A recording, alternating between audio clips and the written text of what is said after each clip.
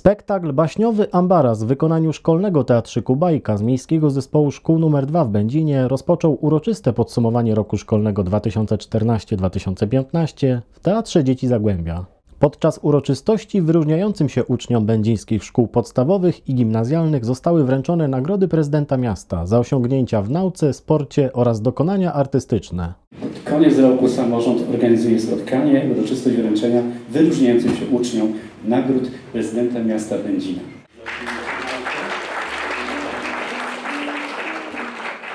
Zaszliśmy tam do województwa w piłce nożnej z naszą szkołą, y, w koszykówce do rejonu, w- ręcznej też. No, w badmintonie to w szkole tam graliśmy, ale no, nie wyszło, tam lepsi byli. Jest to szósta klasa, więc był poziom już trochę wyższy.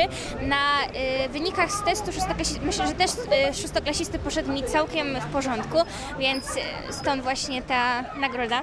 Nagrody prezydenta miasta to duma dla uczniów, ale i ich rodziców. To jest bardzo przyjemne, nie ukrywam. Duma nas rozpiera, oboje rodziców i dziadków i w ogóle y, z naszej akurat klasy jest dużo dziewczynek, które dostały wyróżnienia, więc gratulujemy im wszystkim. Po ciężkiej całorocznej pracy nadchodzi czas zasłużonego wakacyjnego odpoczynku. Francja, pierwszy raz tak poważnie za granicę, więc bardzo się cieszę y, do Disneylandu, spełniać marzenia jadę, więc nic tylko się cieszyć. Obóz sportowy, trochę u dziadków, w domu trochę i na Pogorje. A zatem nie pozostaje nic innego, jak życzyć udanych, pełnych pozytywnych wrażeń wakacji. Kolejne edukacyjne wyzwania dopiero we wrześniu.